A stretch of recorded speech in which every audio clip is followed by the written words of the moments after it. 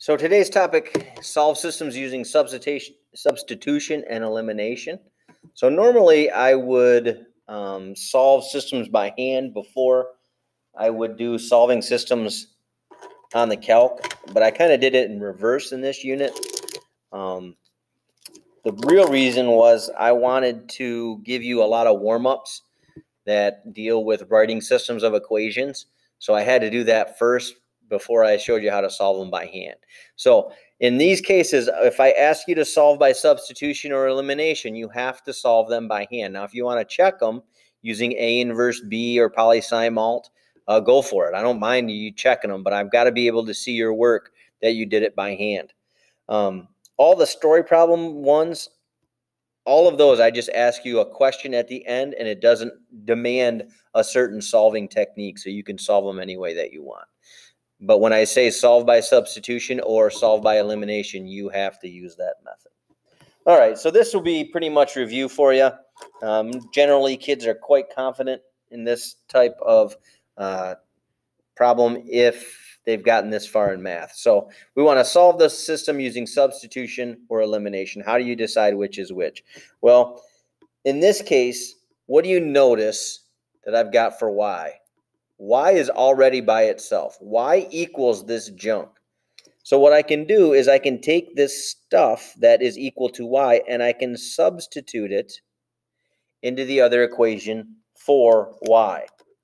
So instead of having 3x subtract 2y equals 4, I'm going to have 3x subtract 2 times the quantity, negative 2x plus 5, equals 4. Notice what we did here. We took out the y and we replaced it with something that's equivalent to it, that's equal to it. Now, we've got an equation. Our goal always when we're trying to solve a system is to get down to one equation with one kind of variable. Here, here we had two equations with two different kinds of variables. So you can use, that's a solvable system, but we are going to use one of two methods to try to get to one equation with one kind of variable. Because when we get one equation with one variable, we can use our solving techniques to figure out what the answer is going to be. So what's the worst part of this equation is the parenthesis. So we can get rid of the parentheses by distributing. So 3x, a negative 2 times a negative 2 is a positive 4x. Negative 2 times 5 is negative 10. Now what's the biggest problem? That we have too many x's, so I'm going to combine the x's. Luckily, they're on the same side. I don't have to do anything fancy. 3x plus 4x is 7x.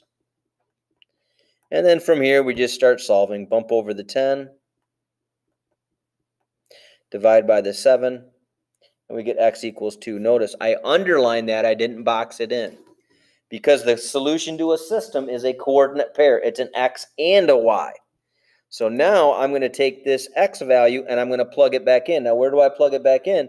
It doesn't matter. Usually one of them is a little bit nicer than the other, but it doesn't matter. I'm going to plug it into this one because this I'm trying to find y, and y is already solved for. So y equals negative 2 times, we just solved that x was 2. So I'm going to sub that in for x plus 5.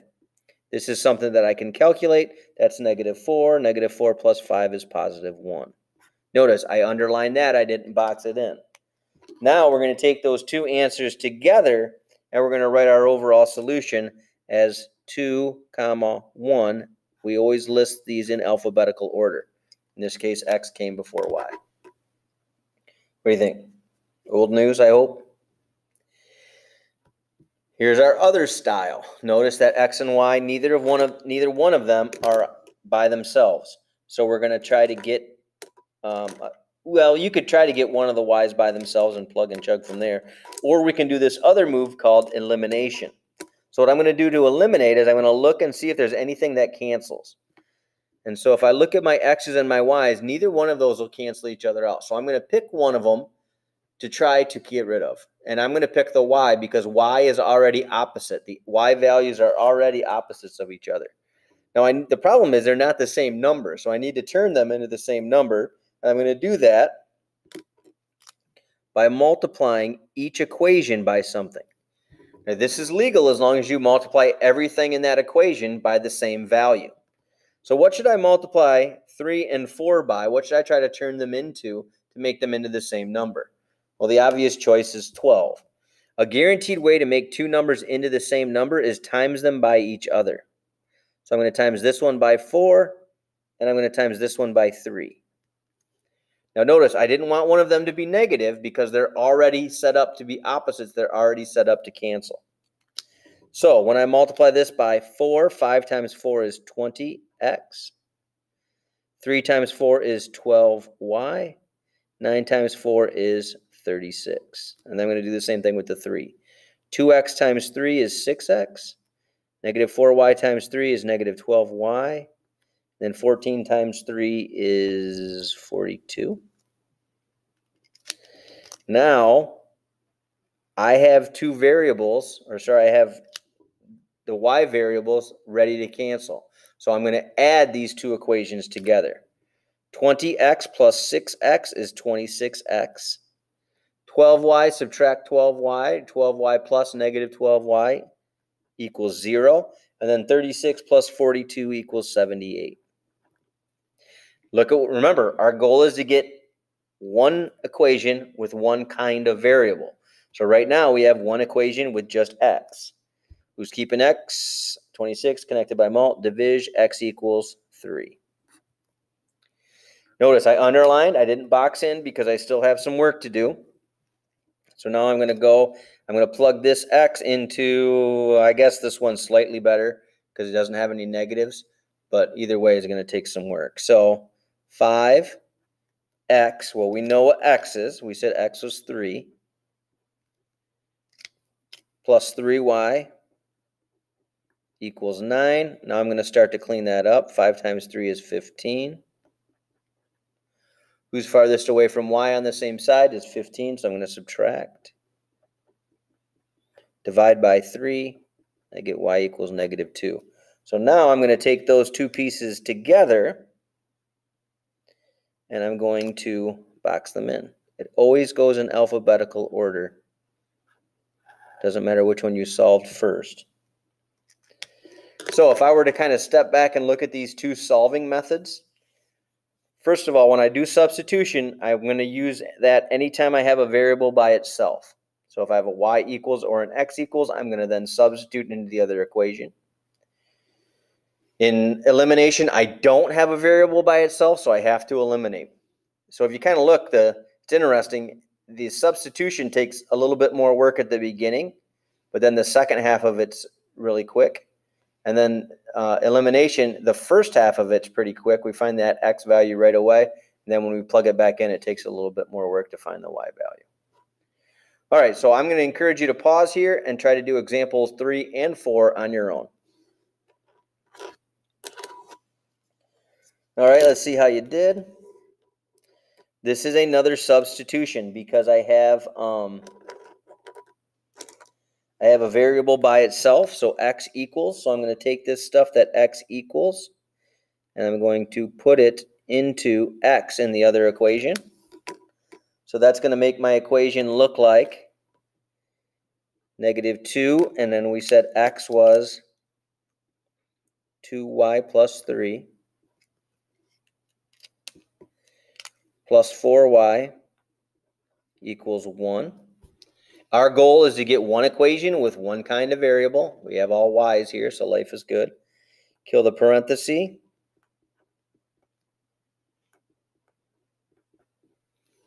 Oh, interesting. I've got multiple y's on the same side. I put them together.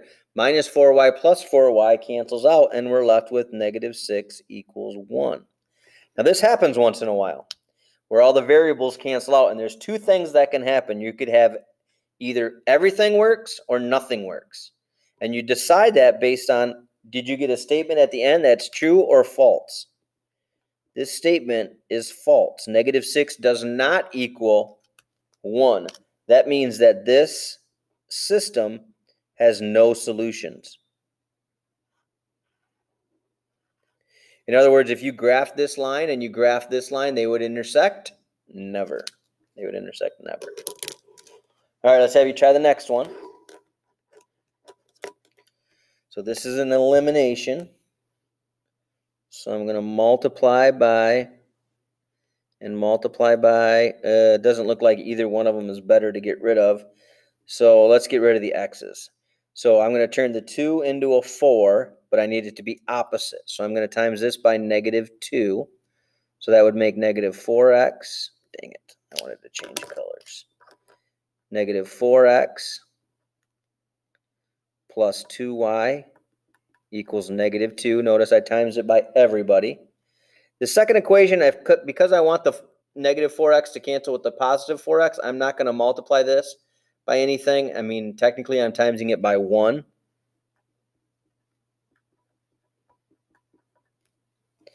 If it helps you understand it better, we're timesing that by 1. Now I have my x's set up to cancel, so I can add, that 0. I can add that 0 equals 0. So this is the alternate side of this coin. Does 0 equal 0? Dang it, that should have been in red. Does 0 equal 0? Yes. This is a true statement. Because this is a true statement, that means that there are not all solutions, but infinite solutions. If you write all solutions, I'm not going to give you full credit because all solutions means that every single combination of numbers works, and that's false. That's not true.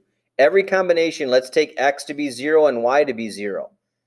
0, 0 does not equal 1 when you plug 0, 0 into this. It just means that there are infinitely many solutions that are the same. So how do you find two lines that have infinitely many solutions that are the same? Well, what has to be true about those lines? They have to be the same line. So in this case, when you have no solutions, that means that you have parallel lines. If your lines never intersect, that means they must be parallel. If you have infinite solutions, those two lines have to touch at every single point. The only way for that to happen is for them to be the exact same line. So the rest of the next two examples are just kind of how to handle when you've got messy fractions in there. Um, my advice is to just kill off the fractions right off the bat. So get rid of the pieces that you don't want. So like for instance, in this equation, I don't like that I've got the divide by 3, a divide by 2, and a divide by 2. So I'm going to pick one thing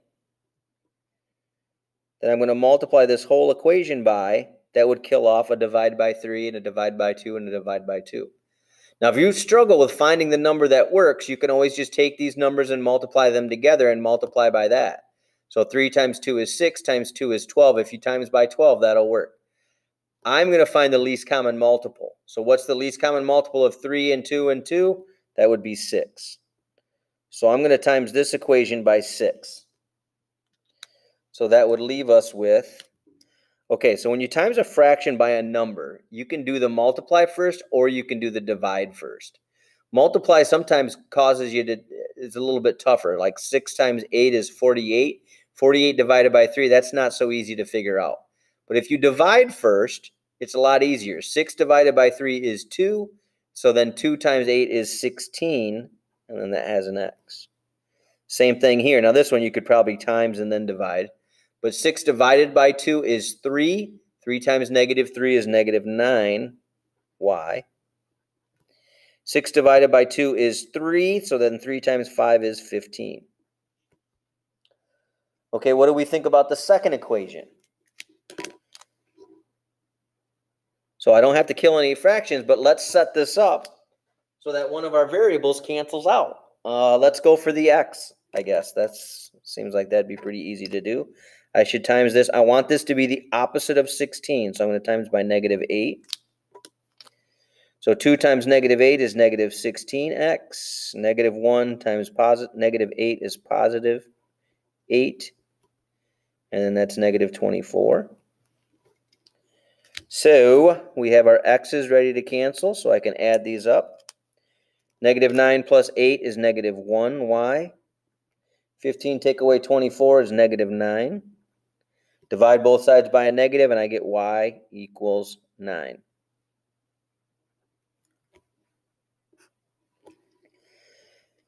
as always, once you get one of your variables, you've got to plug and chug to find the other one. Now you can plug it in anywhere you want.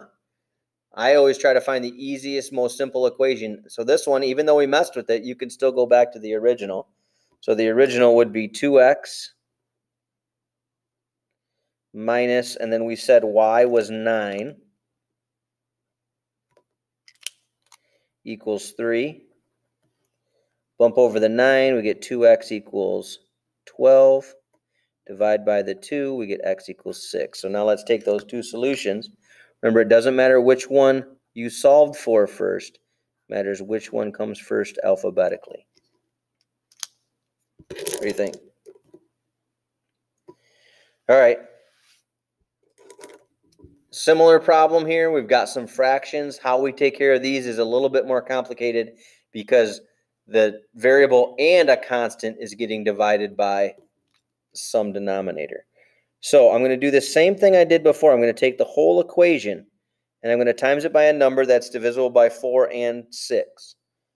Now let's say this time 12 is the better choice because 12 is the least common multiple of 4 and 6. But I'm going to show you that it doesn't matter. As long as you can find any multiple of 4 and 6, things will still work out. So I'm going to choose the multiple 24. Um, 4 times 6 is 24. So remember up here how we divided first? I'm going to do the same thing here. 24 gets distributed to this. So I can do the 24 divided by the 4. That leaves behind a 6, but that 6 but that 6 still needs to get multiplied by the x plus 11. Then I'm going to do the 24. It gets divided by the 6. That leaves behind a 4. But that 4 still needs to get multiplied by the y plus 6. And then most of the people who make a mistake forget this. They actually do a good job here. They forget to multiply the 24 times the 3. And they just leave it as a 3. 24 times 3 is 72.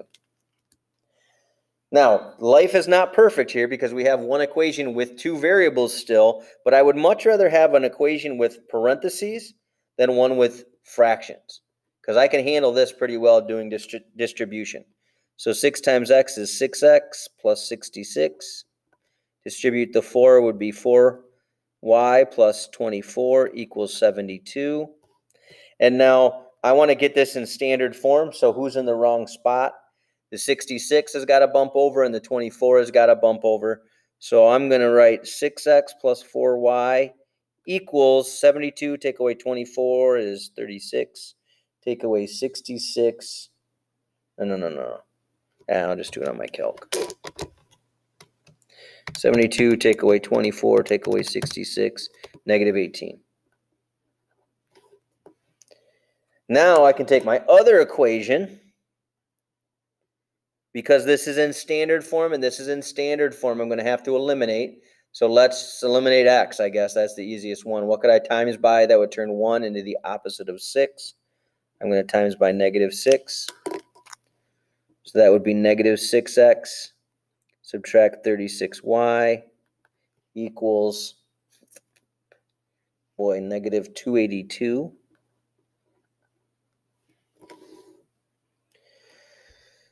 Now I got my x's set up to cancel so I can add these two equations together.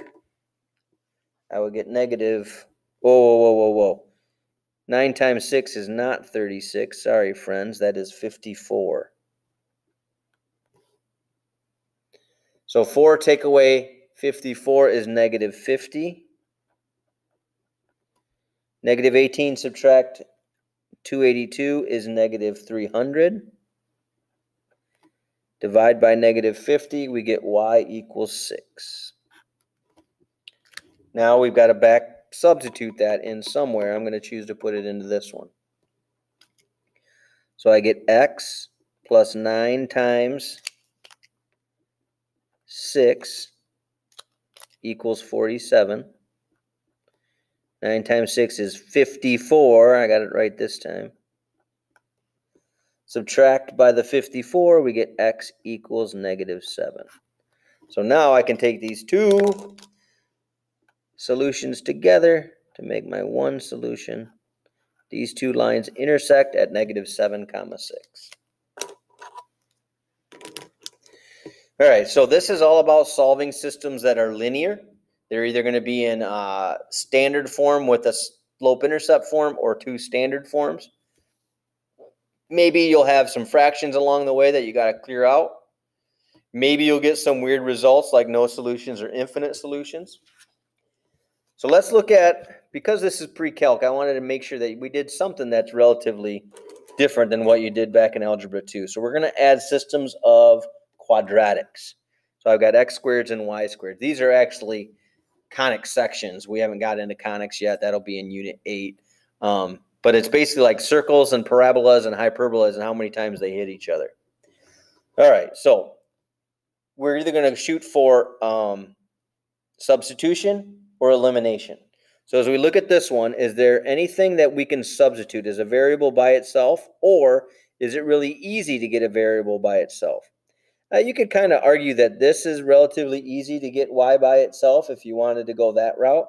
You could try to get y by itself, but that divide by 9 that you're going to have to do eventually is not so good. But if you look at your x's, I've got 5x squared, 5x squared, 20x, and 20x. I don't really care about the numbers or anything else. I just care that I could eliminate all of my x values. So I'm going to go that route. I'm going to take this equation, I'm going to multiply it by negative 1. So that would be negative 5x squared. Then I'm going to put this underneath its like term. So negative 20x, negative 9y, and then plus 7 equals 0. Now this is something that I can add up. 5x squared minus x squared, 5x squared is 0. The 10y squared doesn't have anybody to add with. 20x take away 20x is 0. Subtract y, subtract 9y is subtract 10y. Subtract 67 plus 7 is subtract 60 equals 0. Now I have something that I can work with. I have one equation with one variable. First thing I'm going to notice is that I've got a y and a y squared in the same equation, which means I need to factor. So if I want to try to factor, I can do 10 times negative 60, or I can remember that if you have anything that belongs to every term, you can factor it out. So in other words, I'm going to divide every piece by 10 because 10 goes into every one of these. So I would get y squared, subtract y, subtract 6 equals 0. And now I have something really easy to factor. y subtract 3, y plus 2 equals 0. ZPP, y equals 3, y equals negative 2. So we got two solutions here for our y values. Now remember, once you get a y value, you got to plug it back in and try to figure out the x value. So I'm going to take one of these y values, I'm going to plug it back in somewhere in my equation. Uh, to me, this one is the obvious choice. That's pretty easy to plug back into. So we'll call that the situation where y equals negative 3. How about positive 3? Y equals positive 3. So now I'm going to replace all the y's with a positive 3. So I'd have 5x squared plus 20x plus 9 times, and we said y was positive 3. Subtract 7 equals 0.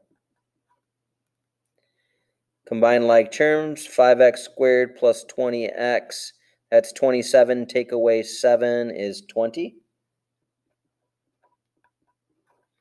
I'm going to have to factor, but let's see if we can factor out first. It looks to me like everything has a 5, so I can just divide because this is 0. I'm just going to divide both sides by 5. So that's x squared plus 4x plus 4 equals 0. This factors into x plus 2, x plus 2 equals 0. And I don't need to ZPP it twice because it's going to give me a, a solution twice, but I do have to at least write it down once. So when y is 3, x is negative 2. So negative 2 comma 3 is one of my solutions. Let's go find the other solution. So now the other solution is going to occur when y equals negative 2. So we would have 5x squared plus 20x plus 9 times negative 2. Subtract 7 equals 0. Combine like terms, 5x squared plus 20x. That's minus 18 minus 7 is minus 25. Can we factor out again? Yes, we are killing it with the factor out here. I can divide everything by 5. x squared plus 4x minus 5 equals 0. And then I can factor x plus 5, x minus 1. ZPP, x equals negative 5 and x equals positive 1. Now, those two x values correspond to this one y value, so I have to list them separately. So my other solution is negative 5, negative 2, and then positive 1, negative 2. So this system of conics, which you don't really know what those are yet, but the system of conics intersects at three different spots. Now, this was an example where we could eliminate, and I'm going to give you guys, I mean, it's going to be pretty straightforward. You're either going to eliminate or you're going to be able to substitute. Because this doesn't eliminate, like this has an x squared, this doesn't, so that wouldn't cancel. It also has a y squared, this doesn't, so that wouldn't work either. We have to use um, substitution here. So I'm going to take this equation and I'm going to rearrange it so that y is by itself. Or no, x is already by itself. Why did that? Oh, no, no. Yeah, yeah, yeah, it is. What the heck? Okay, so x is already by itself. So I'm going to take what x is equal to, and I'm going to substitute it in for x. Now, the problem is there are two x's, so you got to make sure that you put it in for both of them. So we would have 6 times the quantity, y subtract 4, squared plus 4y squared plus 24 we said x was y minus 4. Subtract 3y plus 5 equals 0. How many equations do we have? One. How many variables do we have? One. That life is good when we do that. All right, so now we have to clean this thing up. So that means we have to start off by expanding y minus 4 squared. So remember, that's not y squared minus 16. I wish it were, I wish it were, but it's not. So over here, y minus 4 squared means y minus 4 and y minus 4, which then distributes to be y squared minus 4y minus 4y plus 16, which combines to be y squared subtract 6, nope, y squared subtract 8y plus 16. Now this is what we call margin work. So if you can't do this in your head, you go over to the margin of the paper and you do your calculation there. Then you bring your calculation back. So now this would say 6 times the quantity, y squared, subtract 8y plus 16. Plus 4y squared plus 24 times y minus 4. Maybe I should have distributed that. I could have. I'm going to distribute all at once. So that's 6y squared. Subtract 48y plus 16 plus 4y squared plus 24y minus 24 times 4, 96.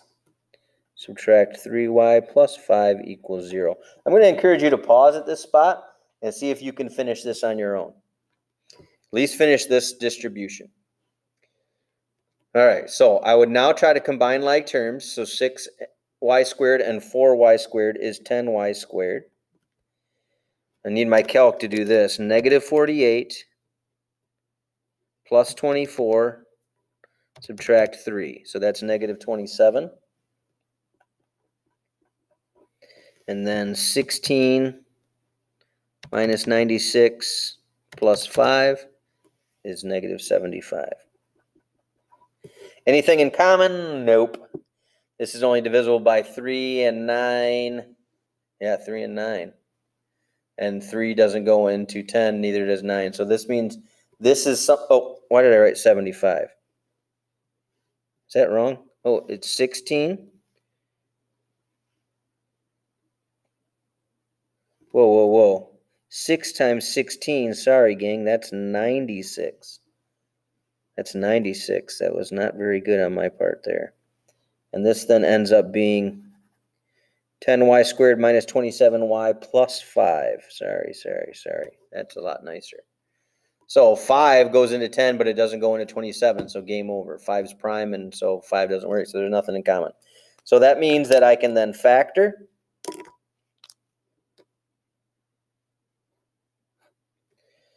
Ten times five is fifty.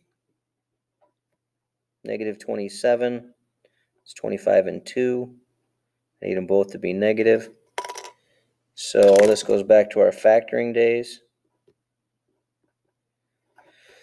Uh, 10 doesn't make a 25 or a 2, so it's got to be a 5 and a 2.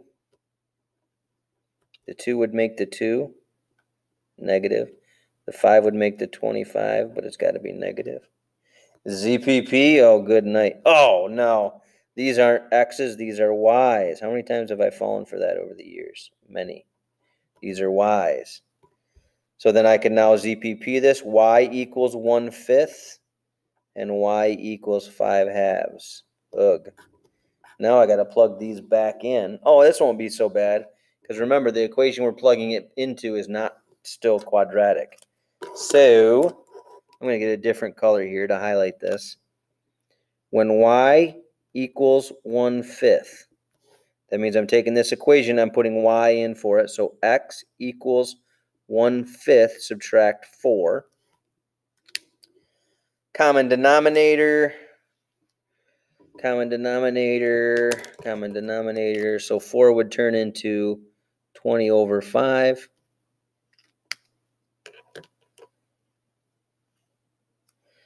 One take away 20 is negative 19, so x equals negative 19 over 5. So one of my solutions, and I'll go back and put that together in a second. Then the other one is going to occur when y equals